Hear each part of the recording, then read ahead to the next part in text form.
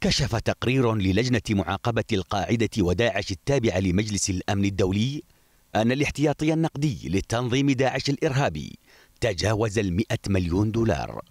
التقرير أشار إلى أن الكم الأكبر من هذا المبلغ حصل عليه داعش إبان سيطرته على ثلث مساحة العراق إضافة إلى حصوله على الأموال عن طريق جمع الإتاوات والغرامات والضرائب التي كان يفرضها على المناطق التي تخضع لسيطرته.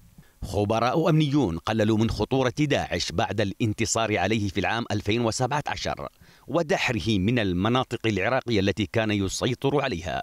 وعدوا ما تضمنه التقرير الدولي مجرد تهويل إعلامي غربي لا أكثر.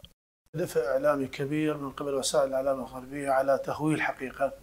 وجود داعش في المنطقة تحديدا في العراق وللأسف التقارير الآن التي تأتي بين الحين والآخر وكأنها تريد أن تغول من جديد هذه المجاميع الإرهابية.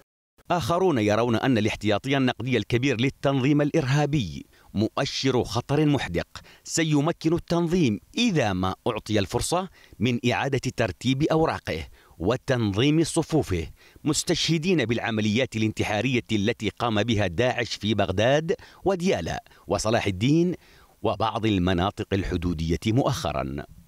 مسألة أن تكون أن تعود وتستثمر هذه الأموال لعودة النشاط هذا احتمال وارد جدا وهذا ما لاحظناه من خلال عمليات الاستهداف والعمليات الإرهابية التي قام بها داعش سواء ابتداء يعني آه، في بغداد من خلال عملية انتحارية وكذلك في أديالة وصلاح الدين وبعض المناطق الحدودية. وما بين مقلل من خطر إرهاب داعش بعد دحره والانتصار عليه ومشدد على التعامل مع خطره القائم وعدم الاستهانة بقدراته على شن هجمات إرهابية.